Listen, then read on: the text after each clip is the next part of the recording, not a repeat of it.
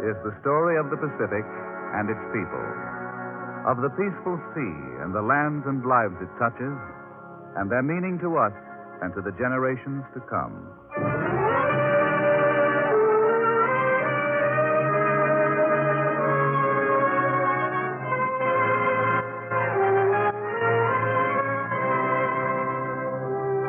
The Pacific Story, presented by the National Broadcasting Company as a public service and dedicated to a fuller understanding of the vast Pacific Basin. This broadcast series comes to you as another feature of the NBC Inter American University of the Air, with drama of the past and present and commentary by Owen Lattimore, authority on the Pacific and director of the School of International Relations, Johns Hopkins University.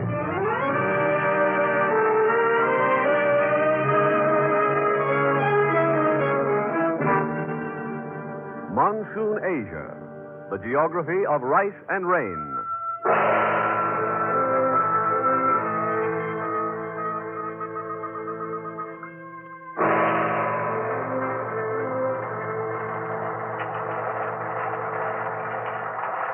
This is Monsoon Asia, southeastern Asia, where the rain drives down in torrents and the lush green vegetation rivals man for existence. Burma, Thailand, French Indochina, British Malaya, the Philippines, the Netherland Indies. Here there is no winter, nor autumn, nor spring, but only a rainy season and a dry season caused by the monsoon winds. Half the year, the monsoon winds blow from the sea, bringing rain. Half the year, they blow from the land, and monsoon Asia broils in the dry heat. Monsoon Asia, land of fabulous riches, for centuries the battleground for imperial power.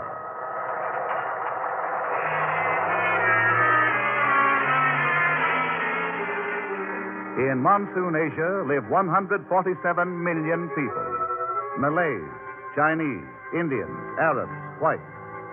Here is a mosaic of races and religions and cultures built on an economy of rice and rain.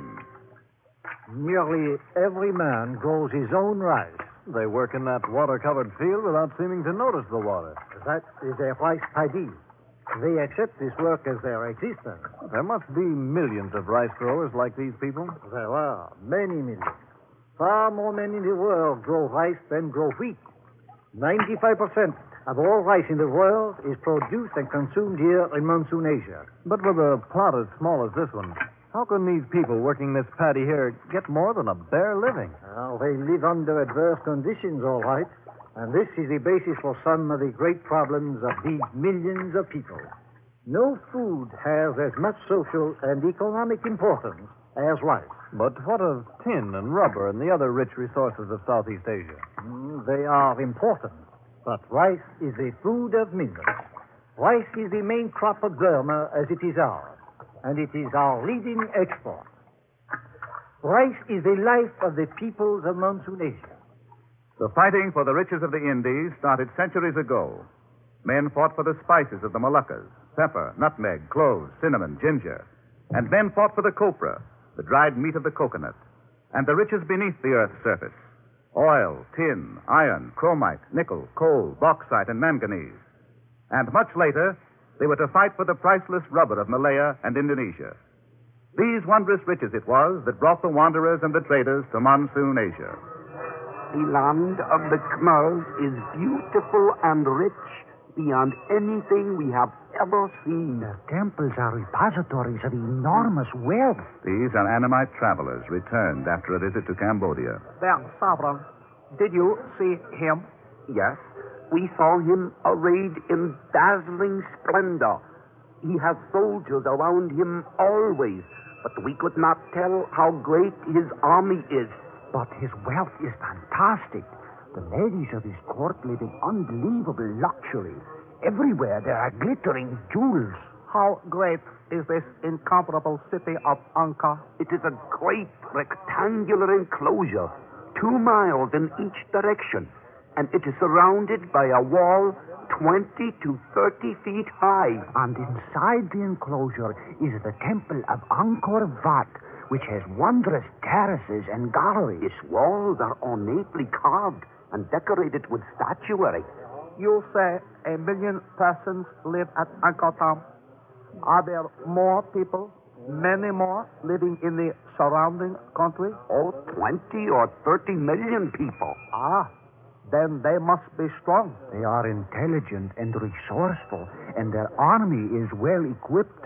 You saw visitors from uh, other lands at Angkor too? We saw visitors from Thailand who stood as amazed as we.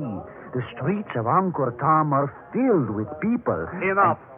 We must march against Cambodia at once if we are to march, or the armies of our neighbors will reach there. To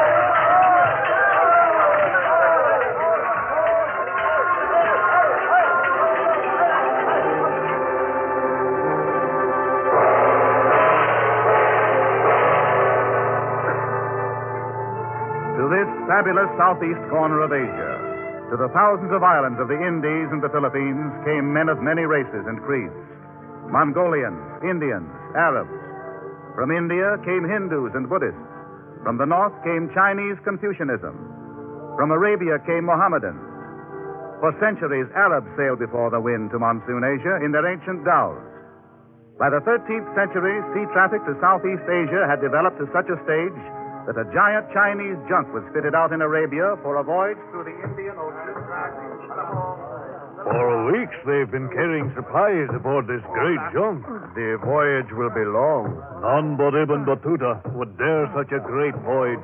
Ibn Battuta is the greatest traveler of all the Arabs. Yes, none but Ibn Battuta could bring a junk so magnificent back here from across the sea. The Chinese built it. Ah, they are wise and cunning. Everyone knows the Chinese are truly the wealthiest people on earth. The junk is large as a floating city. It will carry a crew of 1,000 men, where our 400 are soldiers. 1,000 men? Yesterday I stole aboard and feared for my life until I could get safely ashore. You saw the decks? Ah, yes. They are so large that garden herbs and ginger grow in gardens on them.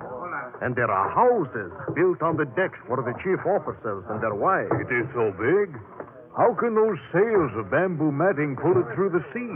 See those oar holes? Those are for oars? Yes.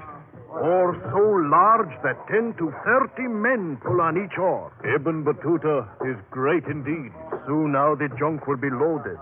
And then with the three smaller junks that are its tenders, it will sail out across the seas. Before the wind, Ibn Battuta, the Arab, sailed his great junk, large as a floating city, to the riches of the Indies. With bamboo matting sails flapping in the wind against the tall teak masts, the great junk sailed out into the uncharted Indian Ocean and anchored off the Nicobar Islands. Ibn Battuta wrote in his log Here we went ashore in search of fresh water. The natives were fearful of us and would not permit any ship to sail in front of their houses. Fresh water was brought down to the shore by elephants. None of us could speak the language of the natives, and neither could they speak ours. We traded by signs. Men went about naked, and the women wore a girdle of leaves only. All were remarkable for the ugliness of their dog like faces. From here we sailed eastward. Ibn Battuta, the Arab, sailed his great junk across the Indian Ocean to Akyab and Rangoon in Burma, where today battles of the Pacific War are being fought and where still more important battles are in prospect. Down the Straits of Malacca, Ibn Battuta sailed with his Moslem traders. From Sumatra, Ibn Battuta sailed to Java, then up with the changing winds to Singapore, up to Thailand and Cambodia, then up the Mekong River. What a wide and lazy river. It is yellow as gold. Yes, and it leads to the greatest metropolis in all Asia. Angkor Town. We have heard of it for years. I am eager to see it. All the world stands in awe at its wonders. Ah, what luxuriant vegetation there along the shore. Coconut trees, and there is a banana tree. And that flowering vine, more beautiful than anything I have ever seen. Yes. And see the native huts. They build them high on stilts. How strange. That is to protect the natives against the floods in the rainy season. Yes. And against the tigers in the dry season. Look at the rice paddies between the huts. Here there are rice paddies everywhere. Oh, what is that ahead of us? The river widens out. The lake. The opalescent lake the travelers have told about. Yes, like a great opal. What are those along the shore? Those great white birds? Those are herons. Ah, herons. They are like a picture standing there in the opal water of the lake, with the rich verdure behind them. So this is the setting for Angkor Thom. We are close to the great city now. It is said that it is only a short distance from the shore. Soon we will stop. Then we shall go inland to behold the glory of Angkor Thom and Angkor Wat. Ibn Battuta found the most advanced civilization of his time at Angkor Thom, a grandiose city in the steaming jungles of monsoon Asia, where the Cambodians led a life of enlightenment and luxury, while Europe was sunk in the Dark Ages. Fabulous monsoon Asia, where in the 13th century men were already scrambling for riches, and where 700 years later the Japanese were to strike in their quest for empire.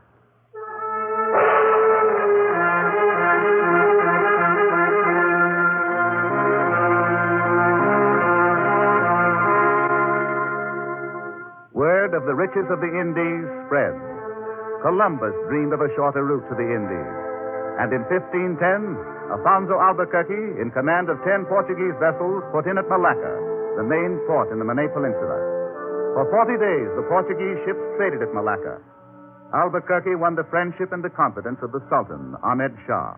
You have been most gracious to us, Commander Albuquerque. This is Sultan Ahmed Shah.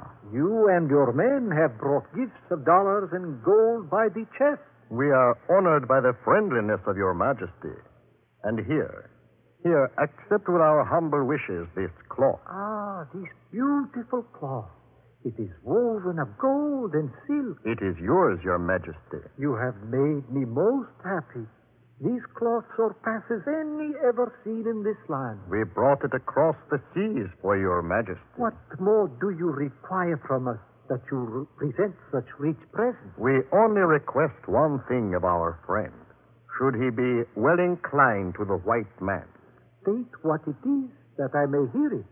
For if it is in my power, I will comply with the requests of my friend. we wish only a piece of ground to the extent of what the skin of a beast may cover. Then let not my friends be unhappy. Let them take whatever spot of ground they like best to the extent of their request. How can we thank your gracious majesty? It is yours. You summon me, Your Majesty. It is my order that my friend may take whatever spot of ground he wishes to the extent of what the skin of a beast may cover. See that my friend has his choice of whatever land he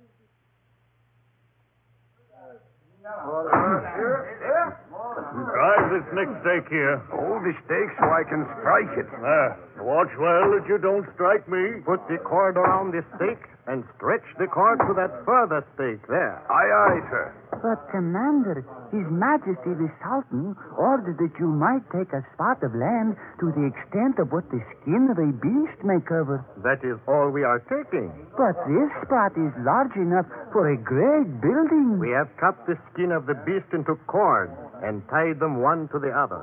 We are only measuring out the four sides with this cord. But this is more than the skin of a beast could cover. It is measured by the skin of the beast, and we are taking no more. Thank His Majesty for His grace. Bring them all here to drive this stake. Coming over. Hurry! The commander says we must start the building at once. You plan to build here? At once.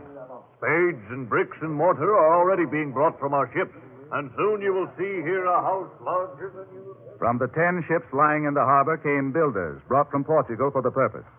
Within the four sides of the space outlined by the cord, Albuquerque's men set feverishly about the construction of the great house. In the walls, they left large square apertures for guns. The natives looked on and asked, What is the reason for leaving those openings? Those? Oh, they are the openings that the white men require for windows. While the builders were busy on the great house in the daytime, the night was used for other purposes. Easy, easy. Those lines are strong enough to hold the cannon? Yes, sir. We are using double tackles, you see. If the line should part, the cannon would drop and kill every man in that boat below there. Besides, we should lose the cannon. It will hold. Easy. Easy there. Roll it away! Little more!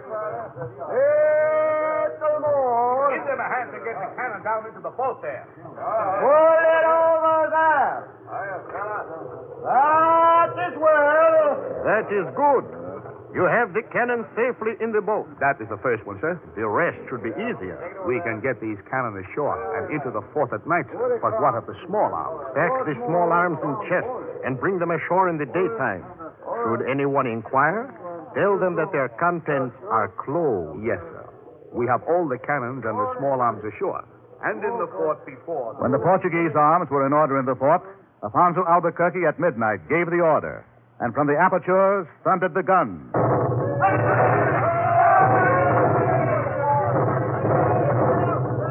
Where is Commander Albuquerque? How did the natives behave in the city? They are in panic. Oh, Commander Albuquerque. The Sultan, Ahmed Shah. What happened to him? He ran away, sir. The guns destroyed all the houses of the people in the Palm Trunk Fort. And the Sultan and his people have fled in all directions. We will take possession of Malacca at once.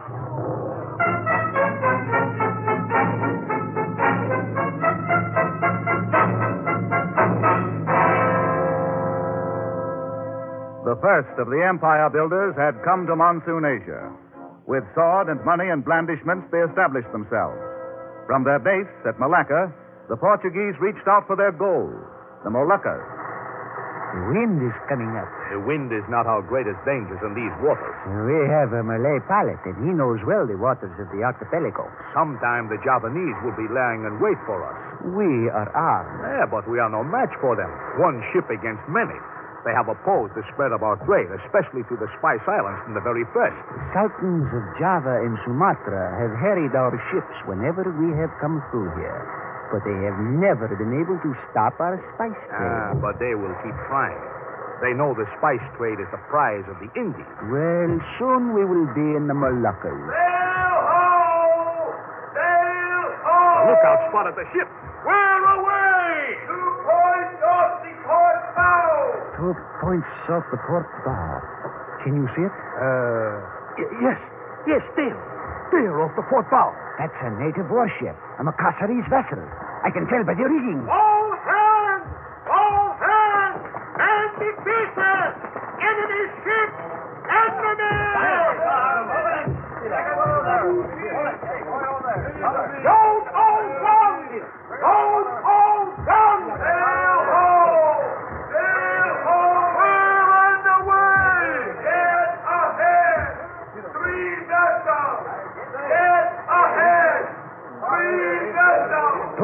are Javanese vessels, and the other one is Bandanese. they have joined forces.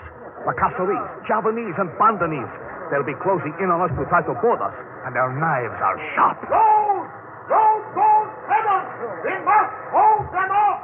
If they close with us, we are lost! All guns loaded, sir! Draw your cutlasses! They're closing on us! Fire! With the sword, the Portuguese kept their hold on the Spice Islands and expanded it with the passing years. From the Indies, they brought spices and silks and white sandalwood to Lisbon. And here, too, came traders from rival nations to buy and to dream of empires of their own in Monsoon Asia. For nearly a hundred years, Portugal kept secret her routes to the Orient, her charts and her sailing direction, hoarded them like emeralds and rubies, and then I have come to you because you are a merchant. Yeah? You have been to Lisbon. Oh, many times. Our merchant cities here in Holland have grown upon the Lisbon trade. Uh, what is your name again? My name is Van Linschoten. Jars Van Linschoten. Hmm. Van Linschoten, yeah. And uh, you know the eastern routes? I have talked to sailors of the Portuguese ships. No, but they are forbidden to talk to foreigners. I was a writer to the Bishop of Goa, and there the Portuguese sailors came to the cathedral. Yeah? So I have come to Holland, and to you, because you are a Dutch merchant. Hmm. Uh, how thorough is your knowledge of the Portuguese route? I could chart a course to the Indies.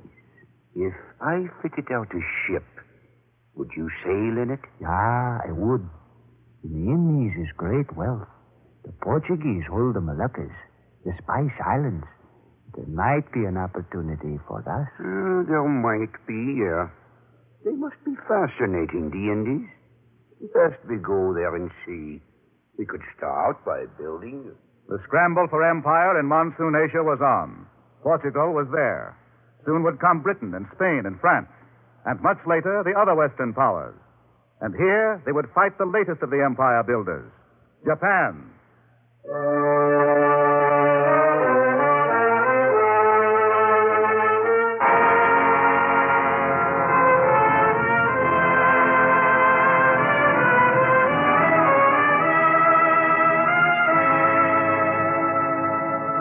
Southeast Asia, with its rice and rain, with its riches that have become legend through the centuries, had fallen under the shadow of the Westerners.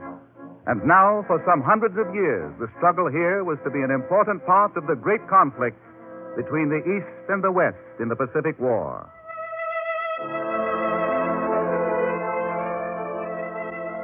Monsoon Asia, with its teeming millions, its many races and colors and creeds, has influenced the entire world.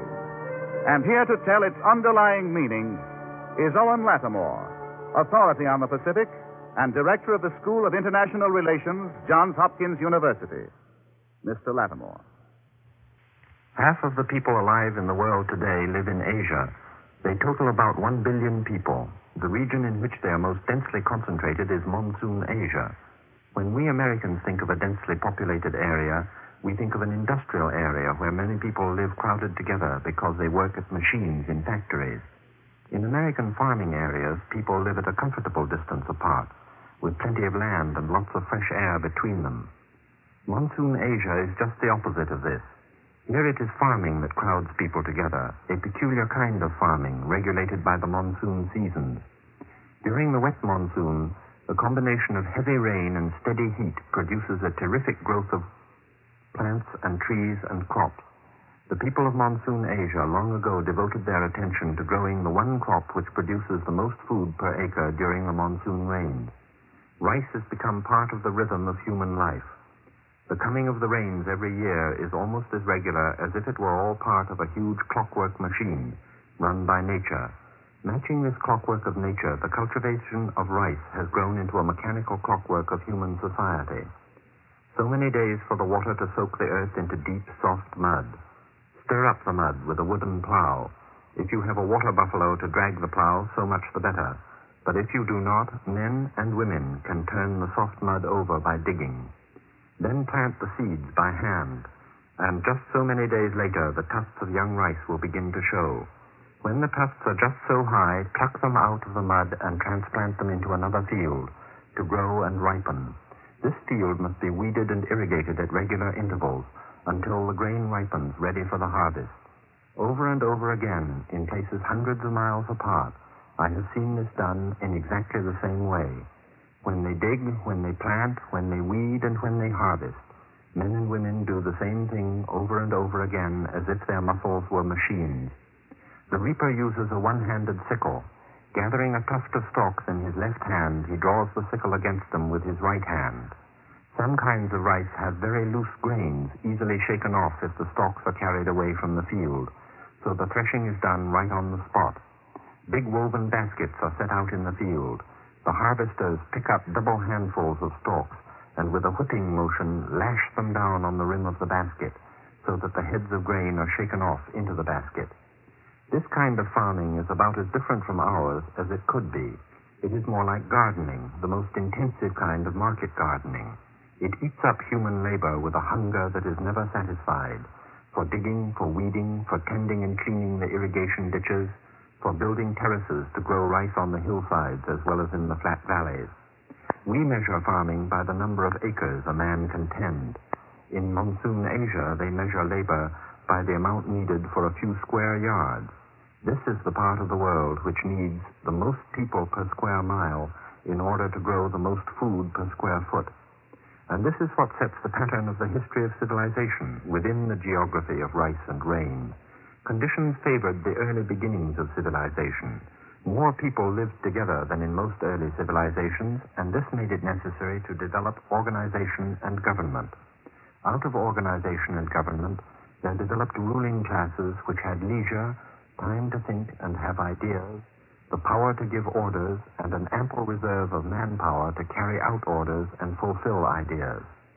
On the other hand, the civilizations of the region of rice and rain never developed machinery as a substitute for manpower. Machinery is what multiplies and extends the work done by human muscles. For the rulers of the lands of rice and rain, ample manpower was the sum and substance of all work and effort. They never worried about finding substitutes for human labor. Their only problem was how much they could do with human labor. The civilizations of monsoon Asia accomplished remarkable things in engineering, but in planning vast irrigation works and building with huge blocks of stone, the motive power which they used was human muscle, not engines. A civilization which depends entirely on human muscle may be very sophisticated, but fatally weak. We can see this from the ruins of luxurious palaces and cities in monsoon Asia. If the manpower failed for some reason, a plague or a barbarian invasion, the life-giving monsoon rains became suddenly an overwhelming menace. In a couple of years, the fast-growing vines and the jungle could swarm over a city that it had taken decades to build. In the modern world, our problems join up with those of monsoon Asia. Surplus manpower choked the growth of machinery in Asia. Lack of manpower stimulated the invention and use of machinery in pioneer America. Today we live in a world in which the machine has become so powerful that on the one hand there is no country which machinery cannot invade, while on the other hand, the use of machinery cannot be denied to any people. At the same time, there is a political problem that goes along with machinery. The political system known as democracy is the twin brother of mechanized factory industry. The history of the Industrial Revolution is inseparable from the history of the American and French revolutions.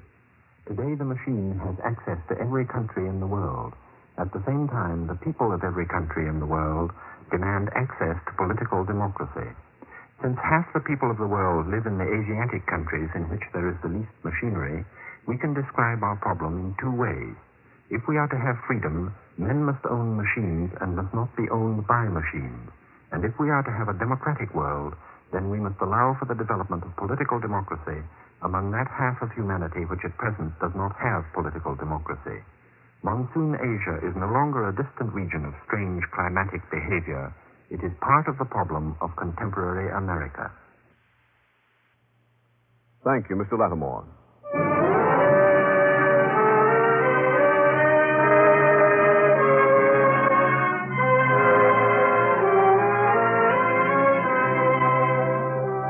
You have just heard the seventh program of the new series, The Pacific Story. Next week at the same time, over most of these stations, the eighth will be broadcast.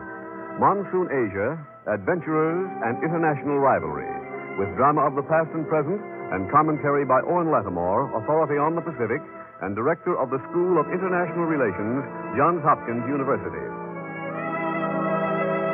You may secure an illuminating handbook of the Pacific Story with background information on each program in this series with suggested further reading.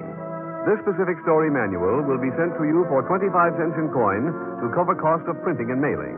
Address the University of California Press, Berkeley, California.